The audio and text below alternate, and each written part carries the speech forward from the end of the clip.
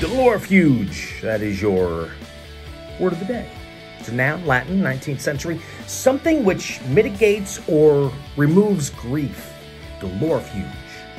After his team lost the World Series, the star pitcher took up mountain climbing as a Dolorifuge.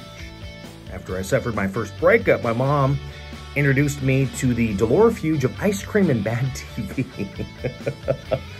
If you watched Married with Children, it was bonbons, right? Dolorifuge.